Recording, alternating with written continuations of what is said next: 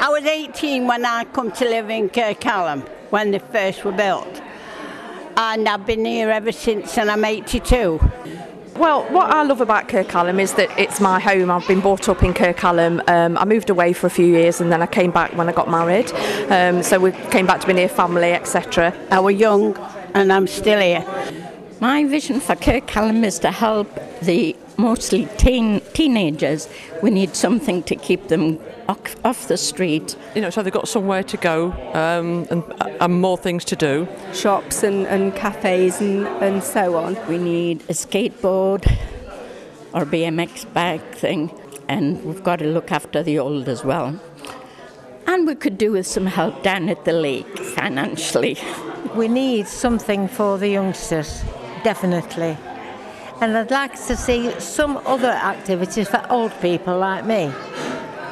You know, I also want to see the lake look wonderful like it used to do years ago we could get people that are isolated into the possibly the community hall, um, do a vintage tea, possibly get them transport that would be subsidised by the big local, um, and get people in to, to interact with each other so they spend time together, and even do some workshops.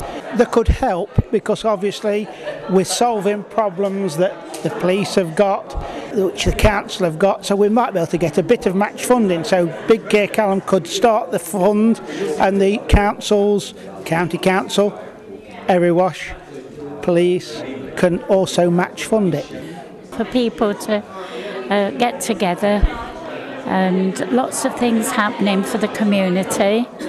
I do wish they could find things for these young teenagers and, and the young ones. There's a lot of people sit in the homes day in, day out that never interact with anybody, and I think it's very important for them to have a quality of life, which is what we'd like to see in Kirk Hallam, and there's no reason why we can't do that. And then you can start thinking about attracting other things in, like more facilities and more shops and, and cafes and, and so on.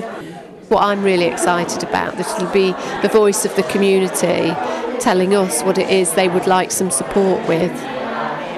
And I love Kirk Hallam.